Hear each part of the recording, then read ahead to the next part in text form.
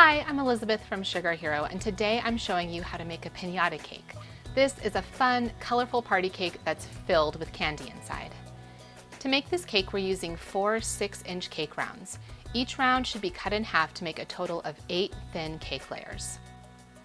Leave three of them just the way they are and for the remaining five use a 3-inch circle cutter to cut a hole in the middle of the cake. You should have five cake layers that look kind of like donuts. I'm using acrylic disc to frost this cake, so I put a non-skid pad underneath and on top of the disc, then the cake layer on a cardboard circle. And this just keeps everything from moving around too much. So spread a layer of black chocolate buttercream on top of the bottom cake layer, and then top that with the second cake layer and put black buttercream on top of that as well.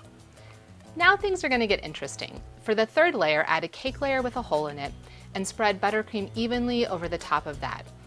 And then you're just gonna keep adding the layers with holes one after another with a layer of buttercream between each one.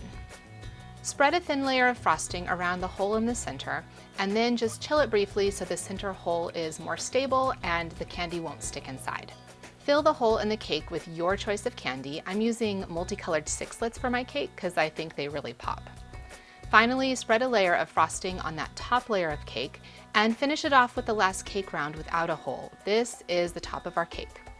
Spread a thin layer of frosting over the top and sides of the cake, but it doesn't have to be perfect. Chill very well until it is firm and solid. So to get a beautiful smooth coating of frosting, spread about half an inch of frosting on top of the cake in a pretty even layer. Take a second acrylic disc and dab frosting in a few places along the edge, then press a parchment circle onto it.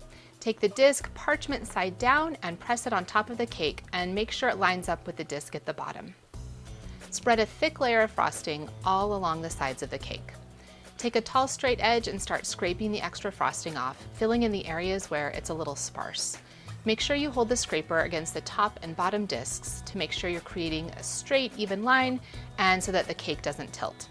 Fill in any frosting gaps and keep filling and scraping until you're happy with the buttercream. You definitely don't have to use discs, I'm just showing it as an option, but whatever you decide to do, chill it well. And then take the top disc off by running a warm, sharp knife along the edge. You'll see it pop off and carefully peel off that piece of parchment. To decorate the top, add a bit more buttercream and spread it almost to the edge, then use a mini spatula to create kind of a spiral design. Don't worry about the edge because that will be covered with a border. Brush about the bottom inch of the cake with corn syrup or piping gel, and then press sprinkles all around it to make a colorful sprinkle border. Time to put a pinata on our pinata cake. I made this cute donkey pinata design out of cardstock, and you can get this same template on the recipe page I'll link for you. So press it on the sides of the cake and trace all around lightly with a toothpick, then carefully peel it off.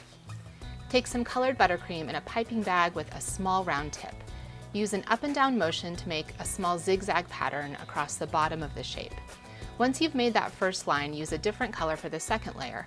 And the most important part is to make sure you kind of overlap the first layer so it looks like it's laying on top of it.